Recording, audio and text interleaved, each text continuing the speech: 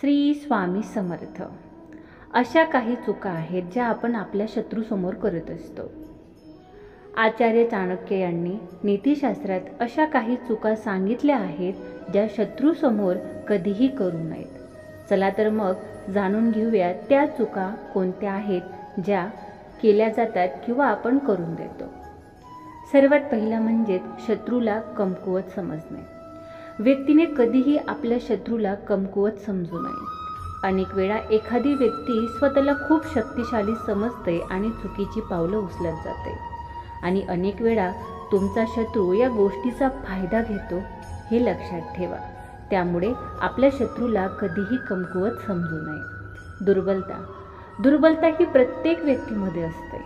आपली दुर्बलता इतरांना कधीच सांगू नये. आणि शत्रूला तर चुकूनही आपली दुर्बलतेबद्दल सांगू नये त्यामुळे तुम्हाला खूप वाईट परिणामांना सामोरे जावं लागू शकतं. त्यामुळे शत्रूसमोर तुमची दुर्बलता कधीही दाखवू नका. त्यानंतर कधीही हार मानू नका. कधीकधी शत्रूने पराभूत केल्यानंतर तुम्ही संयम सोडून देता तर संयम कधी सोडू नये.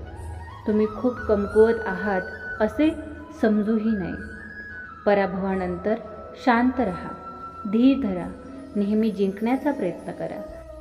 प्रयत्न करण्यास कधीही घाबरू नका आणि तुमचं मन खचू देऊ नका. हा छोटासा व्हिडिओ तुम्हाला कसा वाटला कमेंटमध्ये नक्की सांगा. व्हिडिओ आवडल्यास व्हिडिओला लाईक शेअर सबस्क्राईब नक्की करा. श्री स्वामी समर्थ. जय जय स्वामी समर्थ.